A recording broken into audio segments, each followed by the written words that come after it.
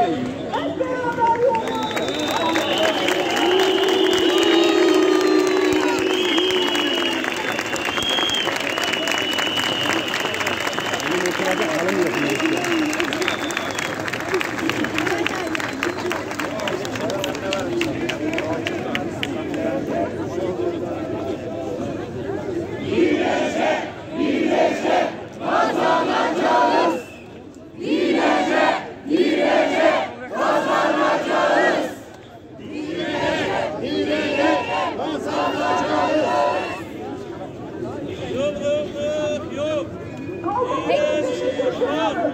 Biz öğretmenler aynı zamanda sizin çocuklarınız için, çocuklarımızın geleceği için buradayız.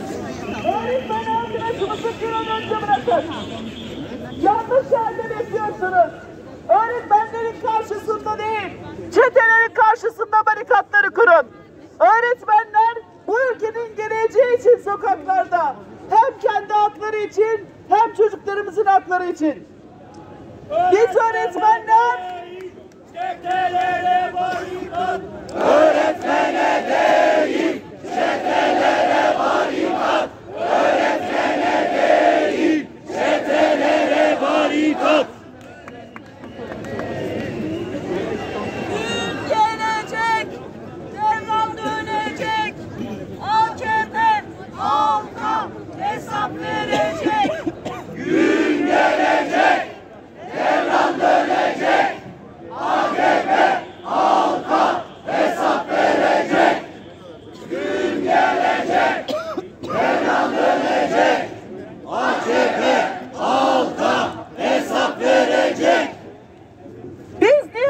buradayız?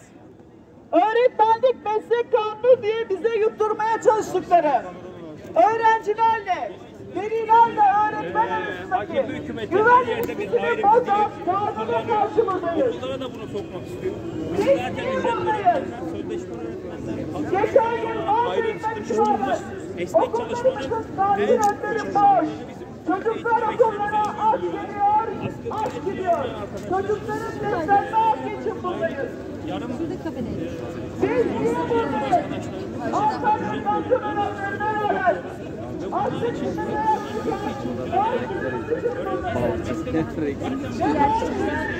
Düşünümüzünden sorumlu olanlar maaş eksikliğini İslam'ıyla bizim bildiğimizi düşünmeye çalışanlarımızı biz kariyer değil, geleceğimizi bu burçlu düşünenlerimiz değil, 全然やっちゃうんですよね。